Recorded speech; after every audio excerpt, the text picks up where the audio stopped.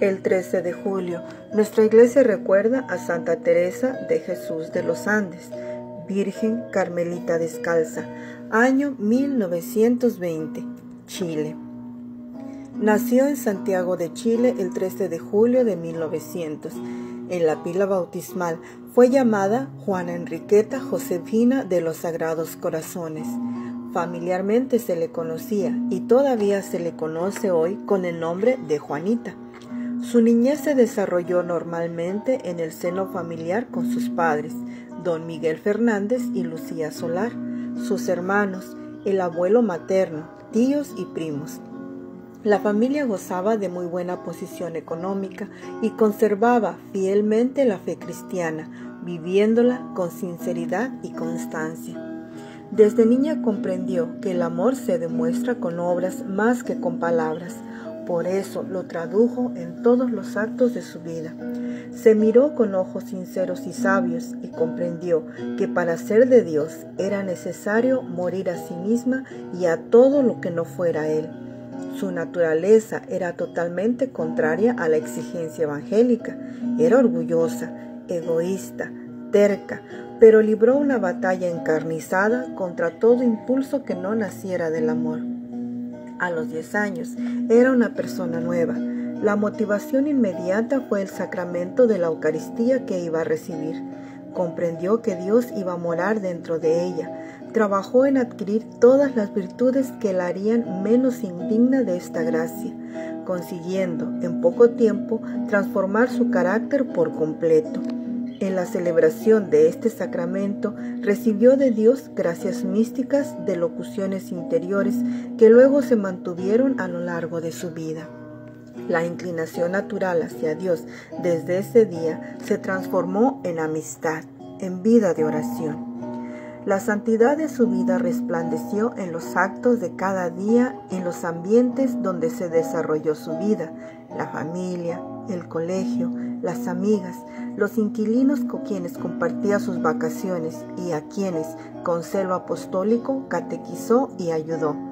Siendo una joven igual a sus amigas, éstas la veían distinta. La tomaron como modelo, apoyo y consejera. Juanita sufrió y gozó intensamente en Dios todas las penas y alegrías con que se encuentra el hombre, jovial, alegre, simpática, atractiva, deportista, comunicativa. En los años de su adolescencia alcanzó el perfecto equilibrio psíquico y espiritual fruto de su ascesis y de su oración. La santidad de su rostro era reflejo de aquel que en ella vivía. A los 14 años de edad, inspirada por Dios, decidió consagrarse a él como religiosa, en concreto como carmelita descalza. Su deseo se realizó el 7 de mayo de 1919, cuando ingresó en el pequeño monasterio del Espíritu Santo en el pueblo de los Andes, a unos 90 kilómetros de Santiago. El 14 de octubre de ese mismo año vistió el hábito de Carmelita, iniciando así su noviciado con el nombre de Teresa de Jesús. Con la abundante gracia de Dios y con la generosidad de joven enamorada se dio a la oración, a la adquisición de las virtudes y a la práctica de la vida según el Evangelio, de tal modo que en cortos años llegó a un alto grado de unión con Dios. Cristo fue su ideal, se enamoró de él y fue consecuente hasta crucificarse en cada minuto por él la invadió el amor esponsal y por tanto el deseo de unirse plenamente al que la había cautivado.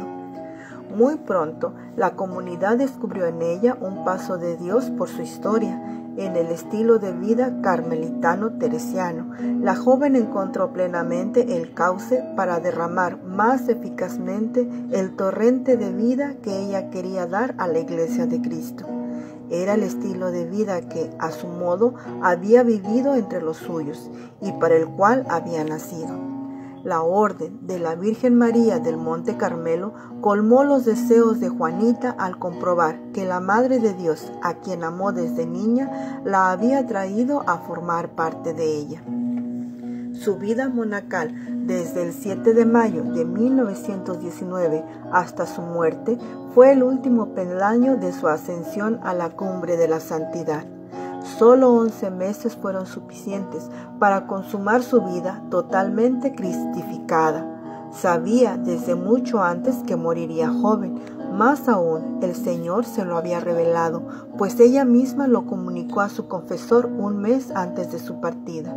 Asumió esa realidad con alegría, serenidad y confianza, segura de que continuaría en la eternidad su misión de hacer conocer y amar a Dios.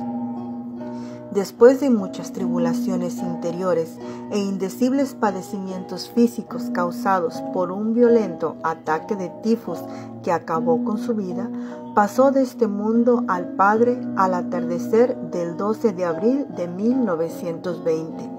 Había recibido con sumo fervor los santos sacramentos de la Iglesia y el 7 de abril había hecho la profesión religiosa en el artículo de muerte. Aún le faltaban tres meses para cumplir los 20 años de edad y seis meses para acabar su noviciado canónico y poder emitir jurídicamente su profesión religiosa. Murió como novicia carmelita descalza. Fue beatificada en Santiago de Chile por su santidad Juan Pablo II el día 3 de abril de 1987 y ha sido solemnemente canonizada por el mismo sumo pontífice en Roma el 21 de marzo de 1993. Sus restos son venerados en el santuario de Auco Rinconada de los Andes por miles de peregrinos que buscan y encuentran en ella el consuelo, la luz y el camino recto hacia Dios. Señor y Padre nuestro, que a ejemplo de Santa Teresa de Jesús de los Andes podamos vivir la alegría de la amistad, del amor y la ternura en familia, que podamos nosotros también luchar contra nuestras debilidades, defectos y manías. Te pedimos que por la intercesión de Santa Teresa nos fortalezcas cuando nos sintamos débiles o tristes en el espíritu y que con alegría podamos cumplir tu santa voluntad por Jesucristo nuestro Señor, Santa Teresa de Jesús, ruega por nosotros. Amén.